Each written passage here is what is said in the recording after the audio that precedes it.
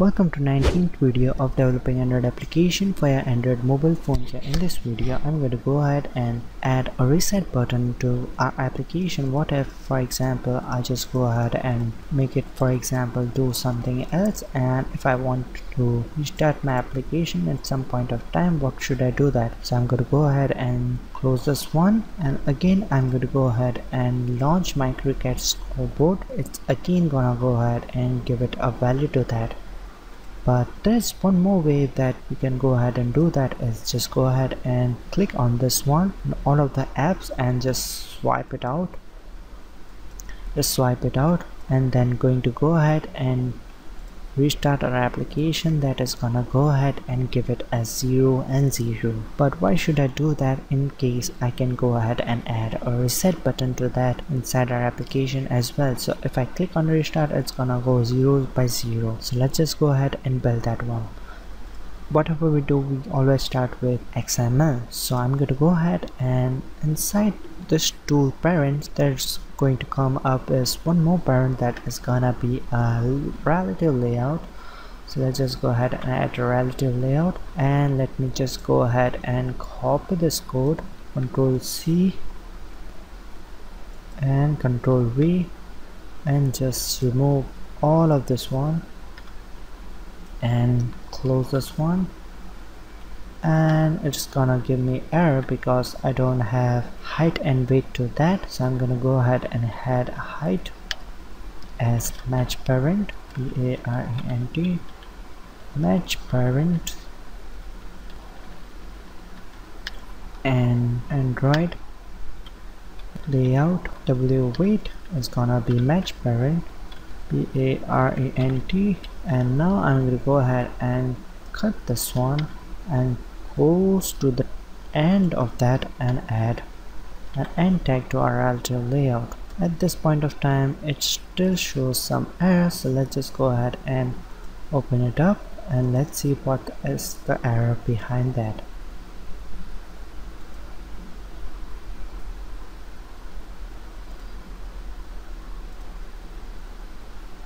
So it actually added width for that and that's the reason it was showing me the error match p-a-r-e-n-t and let me just go ahead and remove the weight to that.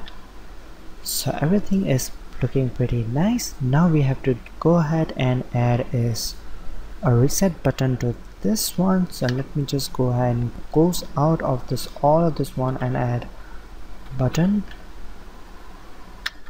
Capital B U button and if it will be wrap content and it is gonna be wrap content. And here I'm going to go ahead and give it an ID to my button. ID button reset button.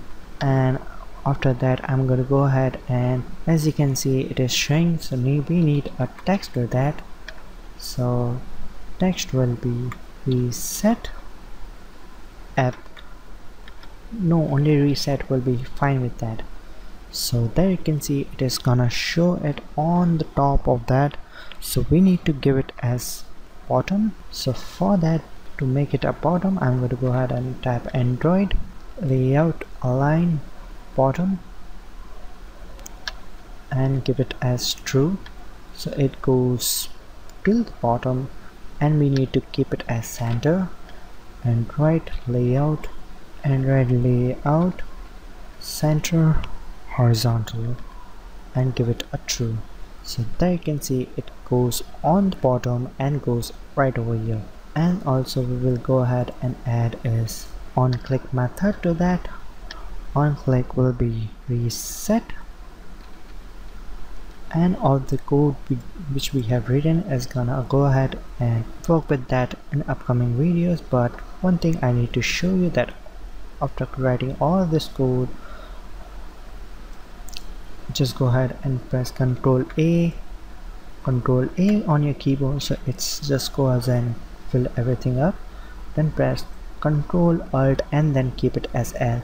So it just keep it neat and clean and everything is decent. So you can go ahead and read a clear code and a proper way so everything is done with the android studio with this help of having a shortcut keyboard. So i hope you try that out and i'll see you guys in the next video where we can go ahead and add a functionality to that and we can go ahead and add java. But just for adding java code why should we need an another video where it's just one single button? So let's just go ahead and create a button right over here. Inside main activity.java we'll go ahead and add a public public void reset. It's gonna be view it's gonna call view and curly braces to that and I'm gonna go ahead and let me just go ahead and check the name of my method. So it's reset. On click is also reset okay now I'm going to go ahead and give it what we have given like on top score team A score team B. So I'm going to go ahead and use score team A will be 0 and then close this one. Score team B is equal to 0 and close this one. Now we have to go ahead and display display team A which is going to be 0 same with display team B it's gonna go ahead and display 0 as well. So let's just go ahead and run our application and let's see if that works. So we will have a reset button and if we go ahead and click on any of the numbers from team A and team B and we have to restart it we just have to click on that restart button and it's gonna go ahead and apply it on an application and it's gonna go ahead and give it as 0 0 so there is a reset button. Let me just go ahead and give it any score. 666642 or whatever.